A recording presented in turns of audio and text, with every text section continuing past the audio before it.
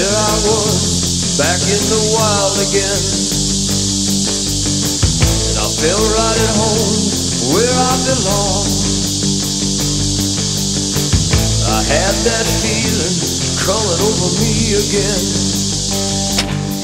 Just like it happened so I'm here at Red Dirt Boar Ranch, and we haven't been out here more than 30 minutes, and already we got this great boar on the ground.